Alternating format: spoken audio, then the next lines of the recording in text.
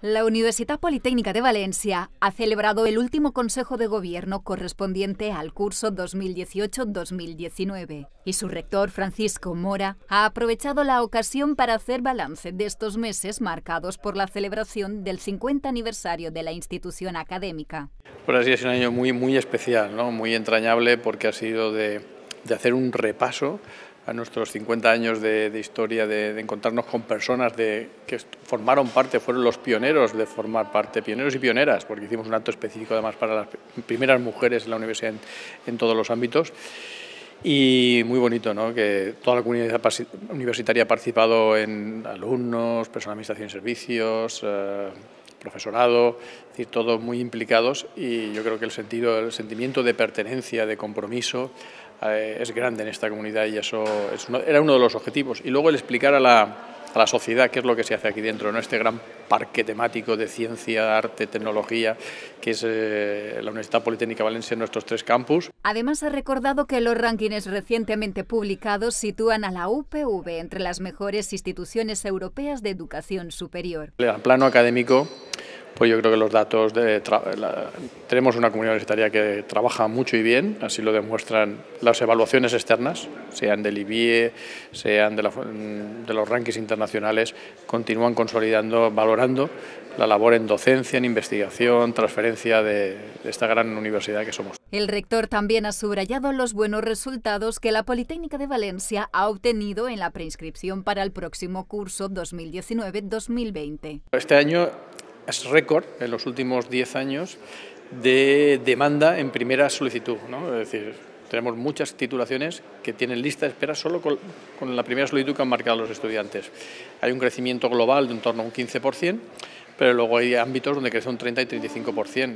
Yo además aquí quiero resaltar el, cambio de tendencia importante en el sector de la construcción que durante años ha estado por las situaciones de, nuestro entorno eh, muy, eh, con una demanda débil y ahora pues ha vuelto a, vuelve a crecer con una demanda interesante. ¿no? El sector TIC es el que más crece, y luego también el agronómico, pero muy bien en, en global de toda la universidad. Por otra parte, durante la sesión del Consejo de Gobierno de la Universidad Politécnica de Valencia, se han aprobado las directrices aplicables a la firma electrónica en el ámbito de las relaciones administrativas de la UPV, con la ciudadanía, su alumnado y personal, entidades de ella dependientes y otras públicas y privadas. Con toda la evolución de las leyes y las normas que se han ido desarrollando en este sentido, pues llegamos a la necesidad de, aprobar unas directrices eh, en esta línea, ¿no? y por ello la Comisión de Administración Electrónica, avanzando eh, en esa línea, pues propone a la permanente y después posteriormente al Consejo de Gobierno la aprobación de estas directrices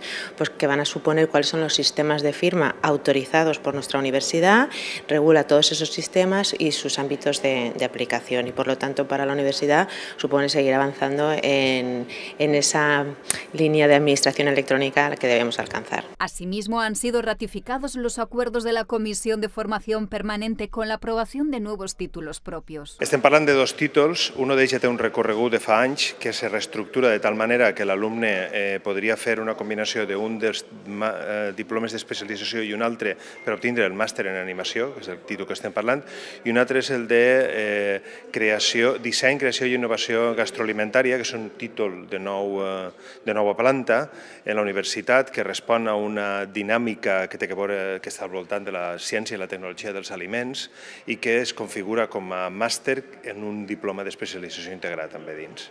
Otro de los puntos incluido en el orden del día ha sido la propuesta de creación de la Asociación de Productores y Comercializadores de la Tomata Valenciana. La Universidad Politécnica de Valencia va a entrar como socio, digamos, fundador de una asociación para la protección y la promoción del tomate valenciano.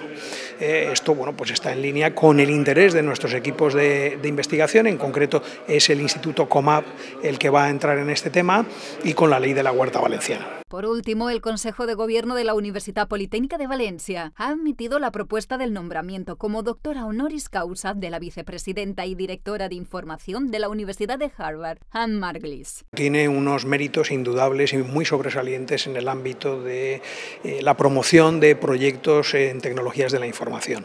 Anne es en este momento vicepresidenta de la Universidad de Harvard y responsable de políticas, estrategias y operaciones en todo lo que es uso de, de tecnologías de la información pero digamos que en su historial eh, profesional lo más relevante, eh, no es lo único, pero lo más relevante es que fue directora fundadora del Open Courseware, que fue una iniciativa mundialmente reconocida, eh, que por primera vez todos los contenidos de los planes de estudios, de los programas de asignaturas y tal, se pusieron online.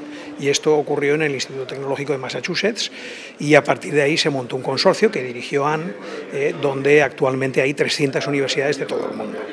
La iniciativa presentada ha partido del Institut Valencià d'Investigació en Intel·ligència Artificial i de l'Escola Tècnica Superior d'Enginyeria Informàtica de la Universitat Politécnica de València.